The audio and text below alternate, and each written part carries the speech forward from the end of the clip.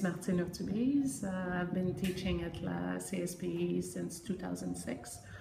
Uh, I'm an English teacher at the elementary level. I now teach grade 1, 2, 3 and one class in grade 4, one group in grade 4. No technology, so it was very interesting to do this project.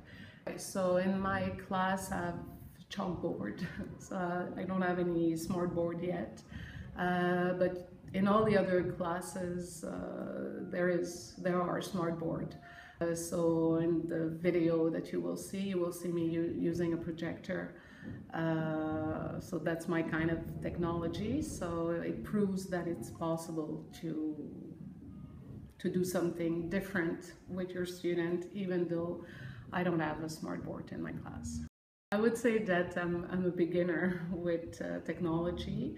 I'm trying to use it as much as I can. I'm also trying to learn it as much and as fast as I can because I want to be um, updated with my student. It's their life, so we have no choice but uh, using it.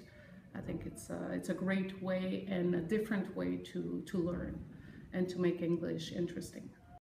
The LES was about uh, emotions so uh, first we worked with the book uh, The Day the Crayons Quit.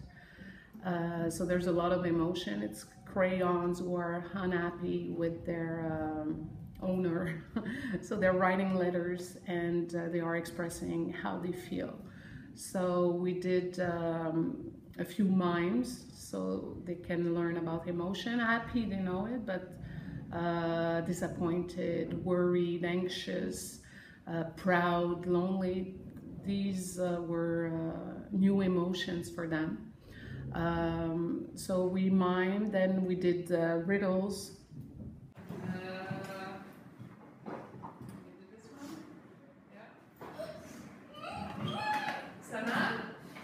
Scared, very good. They watch a clip and they had to circle uh, different emotions on a sheet and we discussed about this. And then we they played Plickers. Um, so on Plickers, uh, we were asking them a few questions about emotions, and they had to answer uh, with the card. Uh, there's also a part where um, we use EDpuzzle as well, but with EDpuzzle it was not only about emotions. So that's about the sequence for this uh, this LES. The final task it, it was to write a letter to one of the crayon uh, and to express again an emotion and to apologize how they feel and uh, to be able to change the way they, they were acting before. I wanted to use Plickers because I think it's a, it's a good way to make everybody participate, even the weak students. So that's why I wanted to use uh.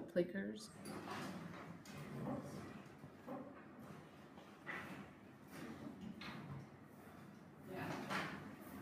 Remember when you see your name with a blue square? And then put your fingers lower. then Yeah, too many fingers. Timothy, I can see you. Timothy? Yeah, good. Yeah, yeah. Good. Good. And Scarlett and Lily are absent. Okay, excellent. So now let's see if you got it right.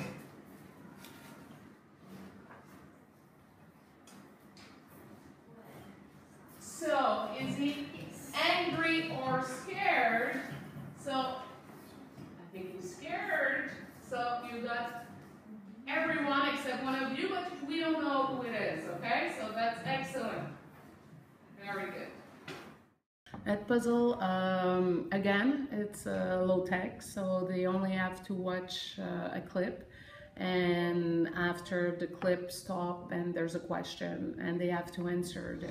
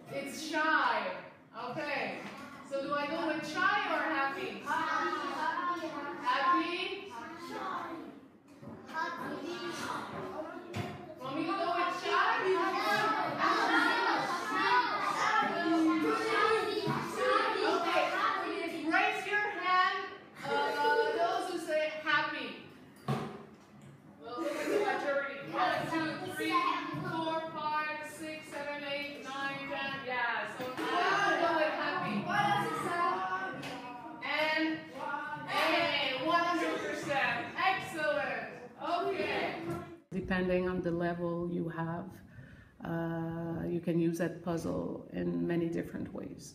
So for me, it was to work it as a group and to exchange and maybe to talk a little.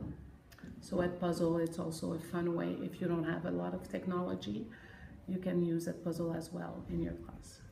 Uh, for me, the winning conditions are uh, to have time. And of course, the more technology you have, the easier it is uh, to create something interesting and to present it as well to your students uh, in the class after. And if they can have tools too, well, it's, it's good for them. But if not, it's still possible.